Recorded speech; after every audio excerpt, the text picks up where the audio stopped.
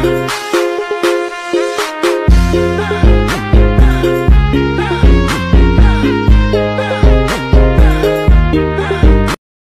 semoga sehat-sehat selalu ya.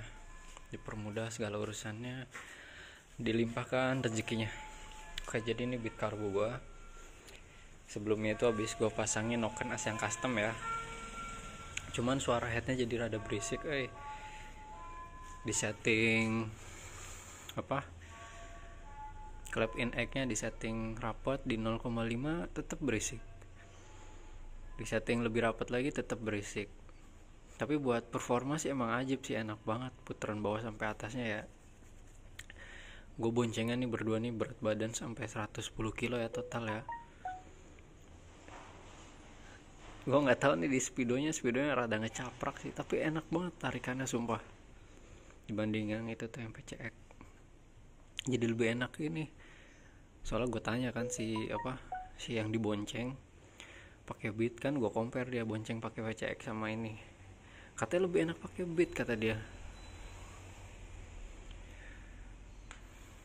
Ya mungkin kalau pecek buat putaran bawahnya itu agak agak berat gitu mungkin karena bobotnya gede gitu ya.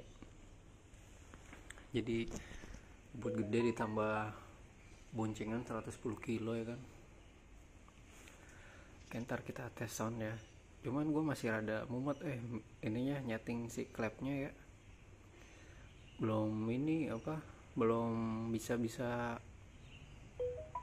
adem gitu suara ininya. Suara apa namanya? Uh, apa tuh?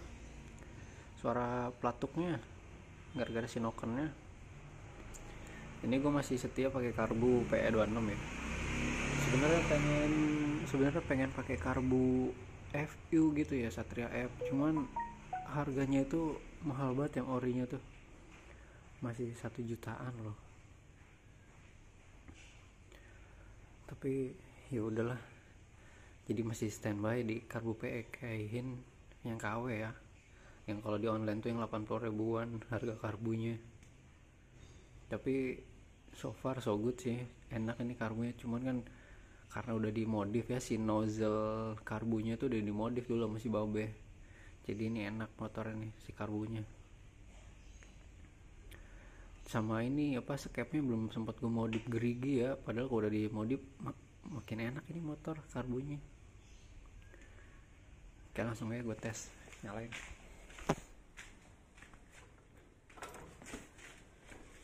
Nyalanya di engkol ya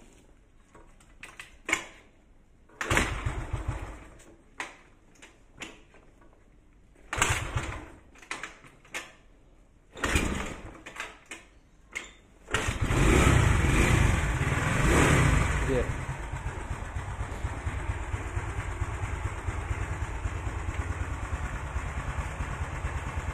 Suara headnya berisik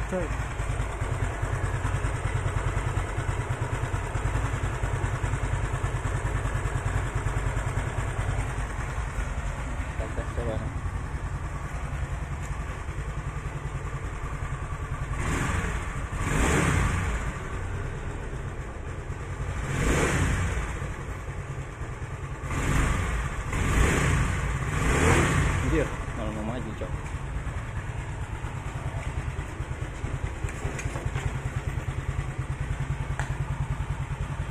Tapi sumpah sih jadi enak sih ini di apa? Pakai noken as yang custom ini ya. Ntar si karbunya gua setting lagi samsamnya.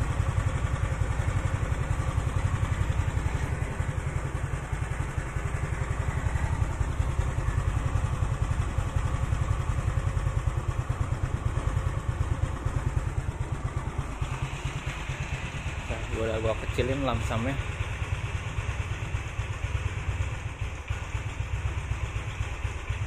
Jadi kalau karbu tuh enak ya bisa di setting gitu lamsamnya.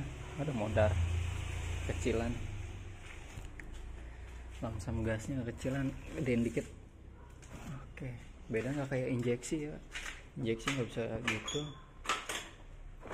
Aduh,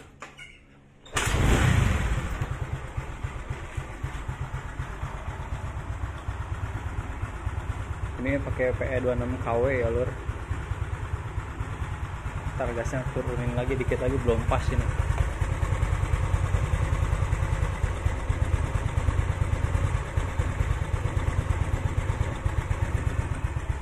Nah ini udah nih.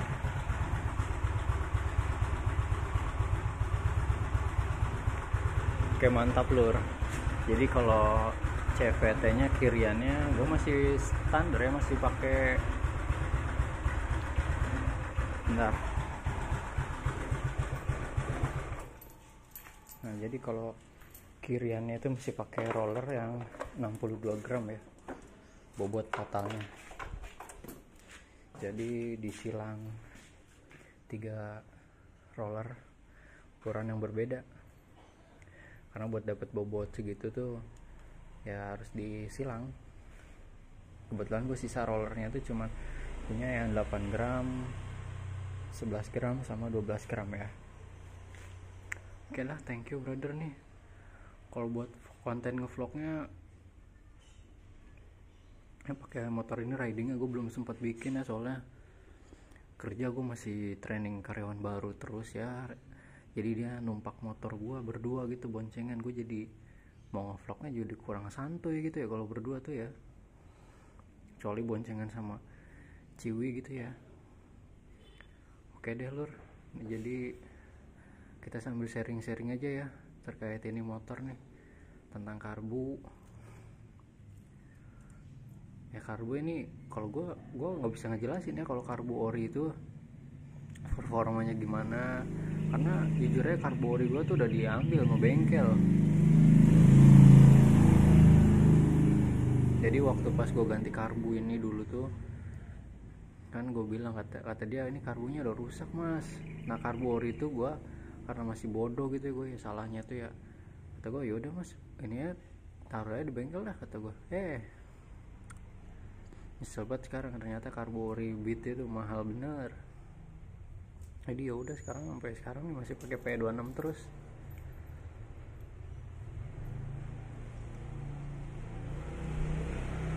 Oke dah thank you nih brother yang selalu support ya semoga sehat-sehat selalu dipermudah segala urusannya limpahkan rezekinya. Dadah